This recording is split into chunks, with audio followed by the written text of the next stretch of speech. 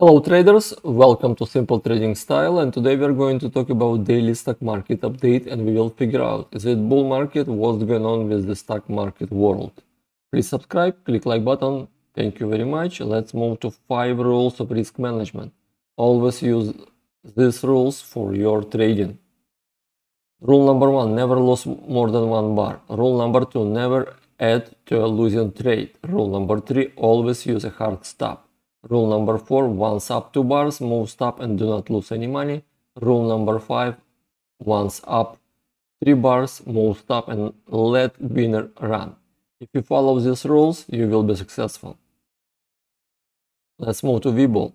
WeBull, if you want to learn more about WeBull setup, just go to the description. There is the link about trading um, uh, setup and trading TradingView setup and other links about all my trainings. Let me briefly mention about my setup. I'm using moving average, white line at MA 200, white uh, yellow line at MA 20, red line MA 10, green line MA 5. MACD indicator, RSI indicator, awesome oscillator indicator. That's all. Very simple. It's not easy because emotions involved in the traders, but if you follow the indicators, you will be successful because indicators do not have emotions. Let me show you how it works. You see here, MA5 green line did bullish crossover over 10. It's entry position. It's daily time frame. I'm using daily time frame for entry and exit position for swing trading. When I enter here, when MA5 did bearish crossover, I'm sorry, bullish crossover, I do put stop over here, right? That's kind of, let me show you the line the previous bar stop stop over here. That's the stop position right? And I can if market change direction to bearish I could lose only one bar. Or I had I had ability to gain multiple bars right? Same here. When MA5 did bearish crossover I did short the market and I did put stop where entry was over here right the previous bar it was over here. Let me show you. I did put stop entry over here green bar over there right? This is my stop. In case if something happened or you can move the, even you can put this stop right? If something happened if market goes to the wrong direction you your position will be closed. You will lose only one bar. But otherwise you will gain multiple bars. Look at it even from here, right? Same story. Buy here, my 5 did bearish crossover. Short the dollar. Short the USA dollar and put stop over here, right? The stop of the stop here. Even in this case, you can put it even higher a little bit because yeah, it should be put at least at the MA 200 because the MA 200 it's a strong resistance. Same here. You could put it in, in at the MA 200 because the MA 200 strong resistance level in this case. That's how it works, very simple. And you see it's still bearish. You see last bar, it's very disconnected from MA5, from 10, from 20. It Definitely wants to bounce now. It's time to sell this short. Yesterday it was time to sell, to sell because it will bounce. Especially look at it on the side, it's very overshort, a very oversold position. Very oversold, it's time for bounce. Daily time frame bullish. I'm sorry, daily time frame it is still bearish. Bearish for USA dollar, it's a bullish for equities. Let's move to Qs. Qs, nothing happened today. Qs still same price action. It did move up today and it was sold off. Was sold off, but it closed flat. It closed flat, no gain on the market. No gain for Qs, just flat, right? Let me maximize it. And remember, it still has you see multiple gaps below, multiple gaps. One, two, three, right? Four, five, before 200. That's what it can close. That's what it can close. Go back to 200, close all gaps. A bullish trend with bearish divergences. Bearish divergences on all indicators, right? Trend still bullish, last bar disconnected from MA5, 10 and 20 four hours time frame. Same, I'm, let's go back to, to daily. Daily, this bar we name it, it's a tail bar, bearish tail bar. It, it can be reversal bearish tail bar. You, that's absolutely possible. You never know. We'll see. Okay, uh, let's move to 4 hours time frame. Bullish trend on all indicators with bearish divergences. Bearish divergences on all indicators. Same pattern, nothing changed since yesterday, nothing changed. In 1 hour time frame, it's already in bearish reversal signal. Last last 6 hours, it did bearish reversal signal, and my 5 did bearish crossover. All indicators in bearish reversal signal. VXN volatility index minus half percent. On daily time frame, still bearish. It is bullish for Qs. SPX, SPX also flat today. No, no, no gain today. Flat day. Still bullish trend. It's also left. You see five gaps below, even more, six gaps below before 200.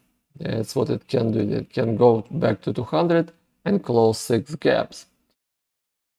Uh, still bullish trend with bearish divergence, multiple bearish divergences on all indicators, but trend is still bullish. Four hours time frame, same bullish trend with bearish divergences on all, on all indicators, still bullish trend. One hour time frame, it's already bearish reversal signal on all indicators. And remember, still MA5, 10 and bars above MA20, it is still positive territory. But it's already gave us bearish reversal signal on all indicators. Let's move to VXN, volatility index minus 2%. Let's see daily time frame. VIX volatility index for S&P 500. Uh, in bearish reversal signal already. It is bullish for for week uh, for S&P 500 still. Let's move to Dow Jones. Dow Jones was kind of yeah, still a uh, quarter percent up, kind of flat, right? Nothing special. Still flat, price action still the same, with bearish divergences on MACD, on the, on the RSI, on awesome oscillator, bearish divergences on all indicators. But trend still bullish because last bar still far from all moving averages. 4 hours time frame, bullish trend, bearish divergences on all indicators, everything's the same since yesterday nothing changed except 1 hour time frame. Uh, even a, 1 hour time frame, last bar is still above all moving averages, it's still positive, still bullish. Still bullish, even some indicators already bearish. VXD, VXD volatility index for Dow Jones. It is positive bullish, it is bearish for Dow Jones. IWM, only IWM today was negative. IWM was negative almost 1%. Let's see, one hour time frame. It, it did bearish reversal. One hour time frame, it did bearish reversal for IWM. IWM did bearish reversal last bar at my 510 below 20. Bearish reversal signal all indicators. On one hour time frame, it's already in bearish reversal signal. Four hours time frame, it is still positive, still bullish still positive, still bullish because the last bar is still above my about 10 and 20. Below 5, but still about 20 and 10. And daily time frame, let's see daily time frame. Uh, it's a red bar. It was positive, you see it was same level like yesterday and it was sold off recently. Uh, Still bullish trend on daily time frame, still bullish trend with bearish divergences, no changes since yeah for last three days. Still has gap, it didn't close this gap, that gap still open. It's yeah small gap. Now it's at 20 cents only. Still has gaps below. Let's move to Apple. Apple flat today, no changes, daily time frame, last bar, last three bars on the same level, same price action, below MA10, bearish reversal signal on all indicators, on daily time frame, 4 hours time frame, let's see, MA5 did bullish crossover, last bar still below 20. On 4 hours time frame, last bar still below 20. Still for last 10 days, it's still below 20. This kind of negative position, but negative signal on all indicators. Apple looks like wants to have some correction, right? And one hour time frame, it was positive for couple days. It's still positive because last bar is still above all moving averages. It is still bullish. Only Apple on one hour time frame still bullish. Tesla. Tesla, let's start daily one hour time frame. No, not just Apple. Tesla also on one hour time frame. Tesla still bullish on one hour time frame. Four hours time frame for Tesla. Also still bullish. Last bar still above all moving averages. It is still bullish trend with bearish divergences on all indicators. Bearish divergences it means Tesla wants to have some correction. And trend still bullish. Also, daily time frame. Price action is bullish.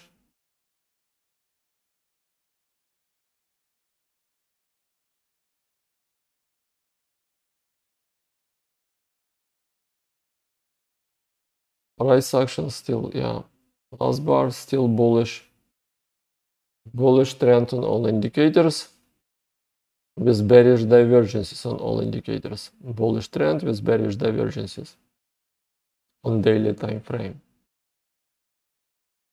for Tesla.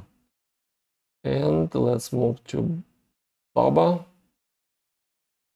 BABA bullish trend on all indicators. Last bar disconnected from 10 and 20. It left gap up Still bullish trend on all indicators for daily time frame for BABA. 4 hours time frame, also bullish trend on all indicators. No changes. You see my 5, uh, 5, 10 and 20 did bullish crossover. It is powerful bullish crossover. Bullish trend on 4 hours time frame for BABA. 1 hour time frame. BABA did bearish reversal. MA5, 10 did bearish reversal over 20.